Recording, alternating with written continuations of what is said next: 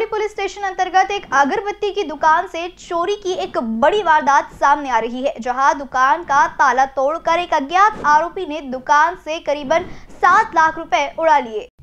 जानकारी के मुताबिक फिरियादी नितिन कुमार, लक्ष्मण प्रसाद अग्रवाल की पाँच पौली पुलिस स्टेशन अंतर्गत मेहंदीबाग पुलिया के पास में मामा अगरबत्ती नाम से दुकान है।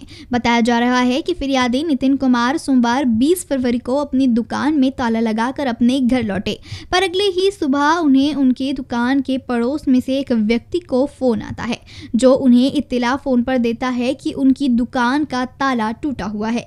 जानकारी मिलते ही फिरियादी तुरंत अपनी दुकान पर पहुँचते हैं, जहाँ जहाँ उन्हें पता चलता है कि उनके कैश काउंटर में रखी हुई तकरीबन सात लाख रुपए की रकम चोरी हो गई है।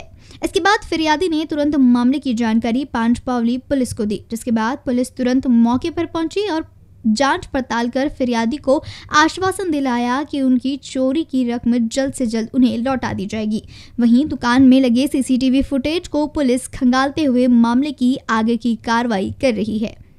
सर, मेरा नाम नितिन कुमार अग्रवाल है। और मेरे फ़ोन का नाम मामा अगरबत्ती है।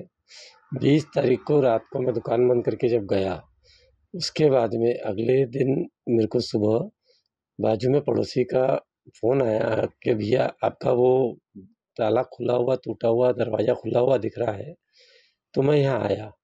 उस समय आने के बाद, देखने के बाद जो मेरे दुकान में कैश पड़ी थी, सात लाख रुपए के करीब, वो गल्ले के सब पूरे टूटे टाटे थे, सामान बिखरा हुआ था और पूरा वो था। तो जैसे ही आया, मैं देखा तो मैंने पुलिस को इतला किया वन वन टू पे और उसके बाद में पाँच पुलिस स्टाफ पूरा आए और उन्होंने जो है पूरी कार्रवाई करने का वो किए।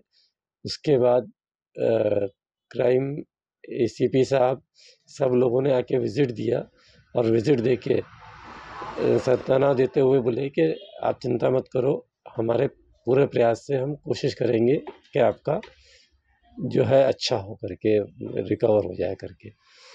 एनबीसी न्यूज़ के लिए अखिलेश भारद्वाज के साथ अक्सा अंसारी की रिपोर्ट।